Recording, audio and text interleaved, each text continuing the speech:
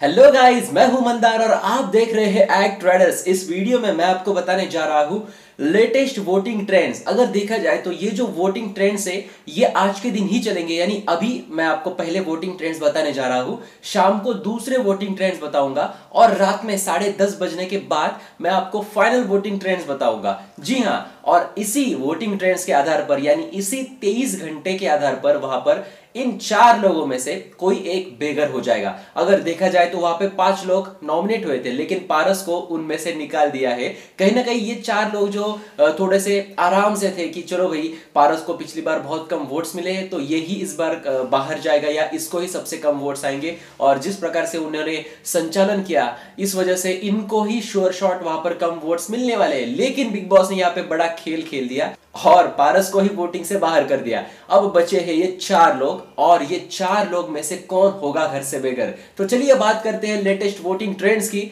Number one पे कौन होगा? नंबर वन पे है वो बंदा जिसने अपनी खुद की एक इमेज बना ली है, आसिम रियाज। जी हाँ आसिम रियाज को बाहर बहुत ज़्यादा सपोर्ट है। अगर किसी को घर में सबसे ज़्यादा सपोर्ट है तो वो थे सिद्धार्थ शुक्ला, जिनका ऑलरेडी एक फ़ैन बेस था, लेकिन घर में जाने के बाद इनके और भी फैंस बढ़ गए हैं। लेकिन जो आसिम रियाज थे आसिम रियाज इतने ज़्यादा लोगों को पता नहीं थे, लेकिन घर में जाने के बाद खुद की एक अलग पर्सनालिटी उन्होंने बना ली है और इनका एक अच्छा खासा फ़ैन बेस बन गया है। और लगभग इनको जितने वोट्स अभी आए हैं वोटिंग लाइन शुरू होने के बाद तो ऐसा लगता है कि ये अब सेफ़ हो चुके हैं और ये अपनी नंबर वन की पोजिशन भी नहीं छोड़ने वाले। तो नंबर वन पे है आसिम रियाज। बात की जाए अगर नंबर दो की तो वो है रश्मि देसाई के। जी हाँ रश्मि देसाई है नंबर दो पे।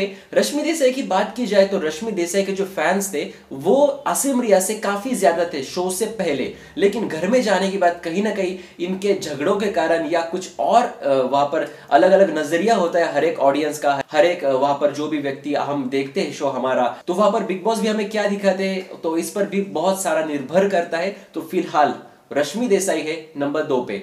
नंबर तीन पे कौन होगा? नंबर तीन पे है हिमांशी खुराना। हिमांशी खुराना के फ़ैन बेस की अगर बात की जाए तो हिमांशी खुराना को भी अच्छा खासा सपोर्ट मिलता है पंजाब से इंडिया से। और इनका भी बहुत बड़ा फ़ैन बेस है। लेकिन फ़िलहाल ये है नंबर तीन पे और इन पर है खतरे की घंटी। नंबर चार पे कौन होगा? नंबर चार यानी आखिरी स्थान पर है शेफाली जरीवाला। पिछले कुछ वोटिंग ट्रेंड्स देखे तो शेफाली जरीवाला हर बार ऊपर रहती है। काटा लगा गल को अच्छे खासे वोट्स आते हैं, लेकिन इस बार शायद खेमा बदलने के कारण या किसी और वजह से इनको ज़्यादा वोट्स नहीं आए हैं वोटिंग लाइंस ओपन होने के बाद। और ये है अभी फ़िलहाल आखिरी स्थान पे। लेकिन मैं आपको बताना चाहूँगा कि शेफाली और हिमांशु खुराना, इन दोनों के बीच वहाँ पर बहुत ज़्यादा वोटों का डिफरेंस नहीं है। यानी बहुत कम वोट का डिफरेंस है। और हो सकता है कि कभी शेफाली भी ऊपर जा सकती है और हिमांशी भी वहाँ पर नीचे आ सकती है या ऊपर जा सकती है। इनमें पोजिशन चेंज हो सकते हैं। तो फ़िलहाल मैं आपको बताना चाहूँगा, ये है वोटिंग ट्रेंड्स अभी और एक वोटिंग ट्रेंड हमारे हाथ आएँगे जो शाम के वक्त होगा।